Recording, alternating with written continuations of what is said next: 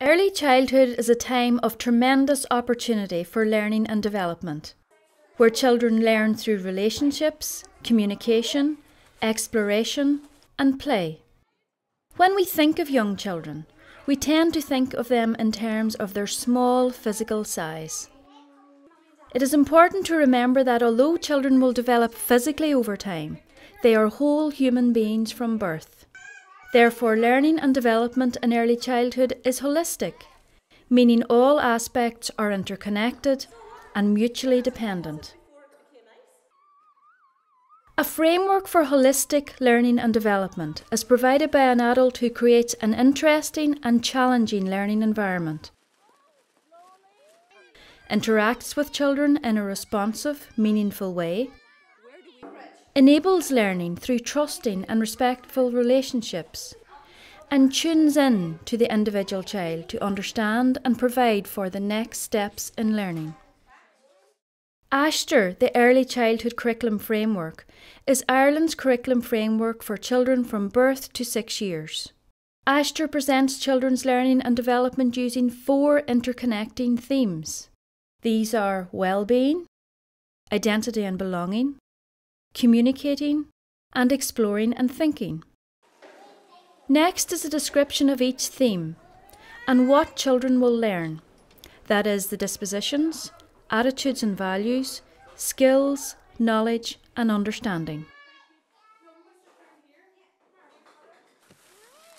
The theme of well being is about children being confident, happy, and healthy.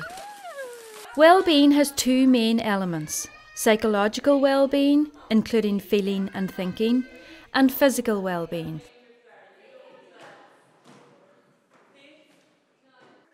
Children's relationships and interactions with their families and communities contribute significantly to their sense of well being.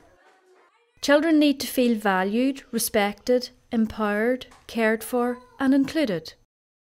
They also need to respect themselves, others, and their environment. Children become positive about themselves and their learning when adults value them for who they are. This helps children to become resilient and resourceful and to learn to cope with challenge and change. Being flexible and having a positive outlook on learning and on life is crucial.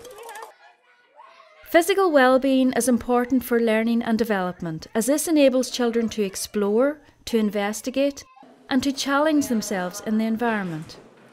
A growing awareness of their bodies and abilities is also part of this.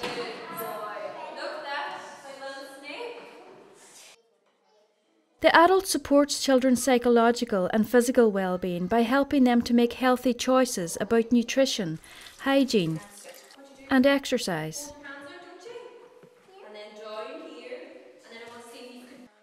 The adult also helps children towards independence by providing them with a choice in their activities and by giving children opportunities to make decisions and to take the lead. The theme of identity and belonging is about children developing a positive sense of who they are, feeling that they are valued and respected as part of a family and community.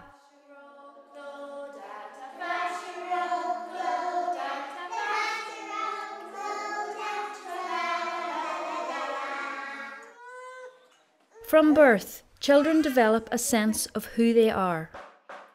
Children's sense of who they are is shaped by their characteristics, their behaviour, and by their understanding of themselves, their family, and others.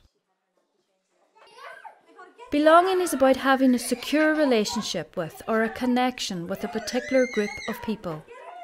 When children feel a sense of belonging and a sense of pride in their families, their peers, and their communities, they can become emotionally strong self assured, and able to deal with the challenges and difficulties of life.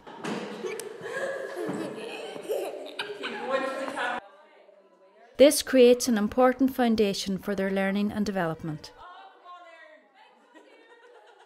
Giving children messages of respect, love, approval, and encouragement enables them to develop a positive sense of who they are and a feeling that they have an important contribution to make wherever they are.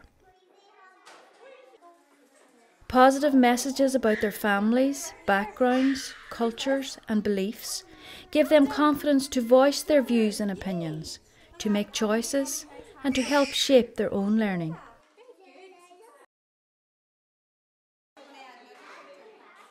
The theme of communicating is about children sharing their experiences, thoughts, ideas, and feelings with others, with growing confidence and competence in a variety of ways and for a variety of purposes.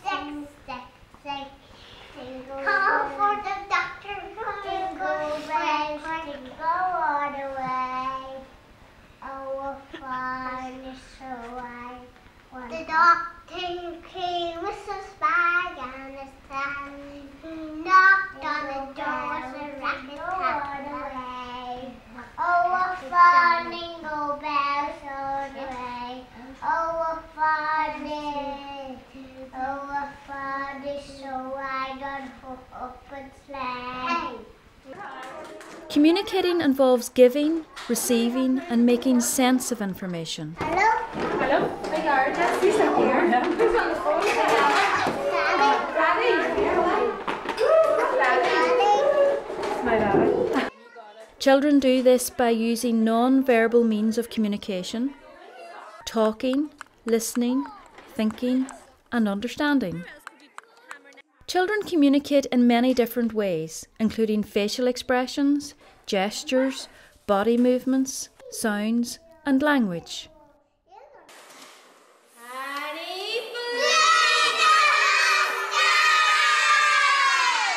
Children's language is more than words, phrases, and sentences. It includes dance, drama, music, poetry, pictures, singing, and stories. Being a good communicator is crucial to children's development. The adult encourages children to communicate by listening to them, interpreting what they are saying, responding to them, and by modelling good communication. Any pot? Any hot? Any pot?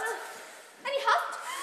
Any pot? These early experiences support children in becoming confident and competent communicators. The theme of exploring and thinking is about children making sense of things, places, and people in their world by interacting with others, playing, investigating, questioning, and refining their ideas. Oh, that's a good idea. Children use their senses, their minds, and their bodies to find out about and make sense of what they see, feel, and experience in the world around them. Look! It's smelly, yeah, but if you smell it, smells like you're down at the beach. Smell. Yeah. You like it? Oh, I think it's beautiful.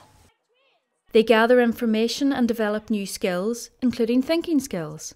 That's a great fertilizer. That's going to fertilise the, the soil for us over the winter time, and then it'll die down into the soil, and next year we will be able to set our vegetables again. They refine their ideas through exploring their environment actively and through interacting and communicating with adults and with other children.